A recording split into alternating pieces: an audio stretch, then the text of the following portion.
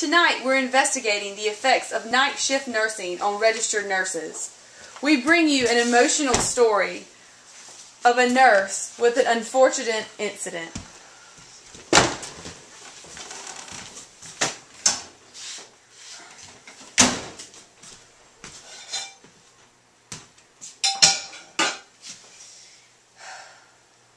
I am Mary Beth Jordan, and welcome to 60 Minutes.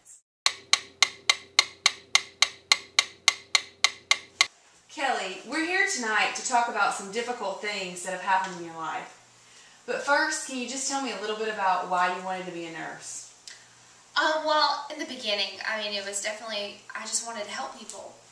And of course, the added benefit of good pay and um, job security. But when it comes down to it, I just wanted to help people and make a difference. Can you tell us a little bit about your accident? Well, uh, Monday, I had worked a day shift. I had Tuesday off, and then I worked two days in a row at night. And on my last, the end of my last night shift, I was driving home and I just fell asleep at the wheel, ran off the road, and I hit a tree.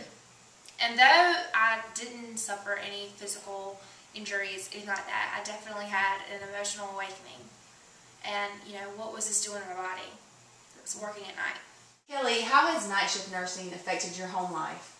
Um, well, it's definitely affected my relationship with my husband. We have different schedules.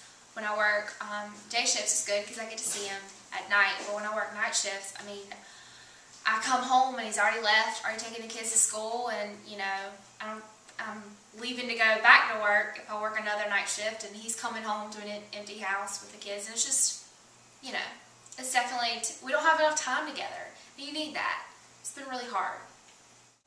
We're here at the Medical University of South Carolina with Dr. Katie Rubel. She has her PhD in nursing. She's recently studied the effects of night shift on nurses. Hi, Dr. Rubel. Hi, it's nice to meet you. Nice to meet you too. Well, I've recently done a lot of research on the effects of night shifts on, on RNs, and what I've found is that there is an increased incidence of obesity, of depression, um, there's a higher instance of miscarriages, and a lot of these nurses have trouble getting pregnant.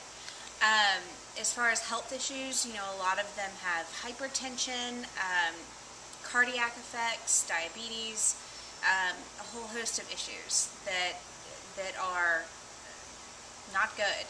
And and then you have issues like with Miss Wallace, where where they have sleep deprivation and their circadian rhythms get completely flipped and they can't handle the, the switch in their schedules and you end up with accidents like hers.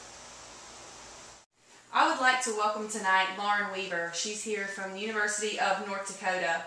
Lauren, can you tell me a little bit about your experience as a nursing supervisor and what the effects of night shifts are on nurses? Sure. Um, you know, I've been doing this for a really long time, and I've um, you know, talk with my staff both night and day shift. And it's not for everybody the night shift. And it doesn't mean that you're a good a nurse or a bad nurse. It's just some people can handle it better than others. Um, from the night nurses, just some tips that they've told me over the years. You know, eating healthy helps. Exercising on your days off. Um, you know, trying to clump all your errands together during the day so that you can get a good night's sleep, so that you can be, you know, on your toes at work that next night. Um, you know, that's not everything, but that's you know some things that will really help just kind of getting you through the night. I know a lot of people drink soda and and those kinds of drinks for the caffeine and just to keep them awake. And we found that you know if you can just drink coffee or tea and you know just keep up with your fluids, it kind of helps um, a lot better than sodas. Um, so those are some things that the night nurses say that work for them.